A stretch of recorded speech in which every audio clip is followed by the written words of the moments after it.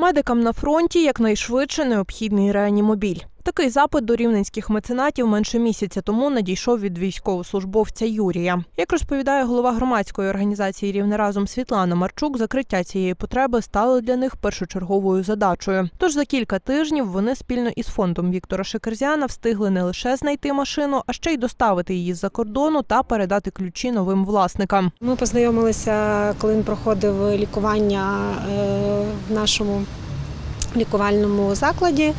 Е, Потім він ще довго проходив реабілітацію. Ми постійно зустрічалися е, в супроводі полеглих на щиті, е, спілкувалися, розмовляли, підтримували зв'язок. І от він одного разу телефонує і каже, що є такий запит, дуже просять медиків такий самий автомобіль. Ось і рівне разом е, спільно з Віктором Володимировичем Шакризяном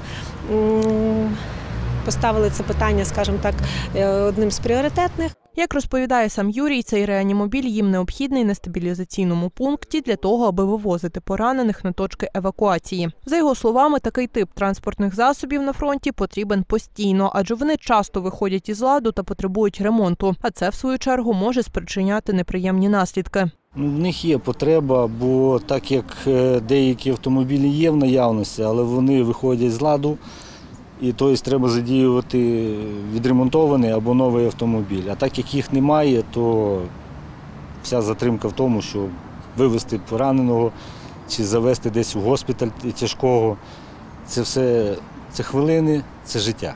Як зазначає секретар Рівнеради Віктор Шакерзян, перед тим як віддати військовим ключі від реанімобіля, вони здійснили технічний огляд транспортного засобу. Окрім того, зробили в ньому певні модифікації, про які просили захисники. Автомобіль, який свіжо пригнаний був саме за кордоном, він переобладнаний так, як от саме військові просили, перефарбований.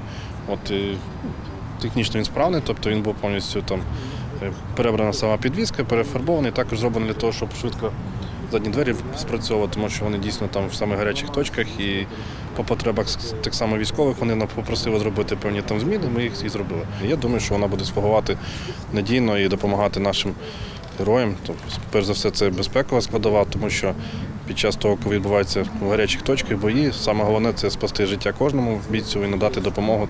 І вже найближчим часом ця автівка попрямує на передову, аби рятувати такі цінні життя наших захисників. Ангеліна Бурак, Олег Шаламай, телеканал Media Group.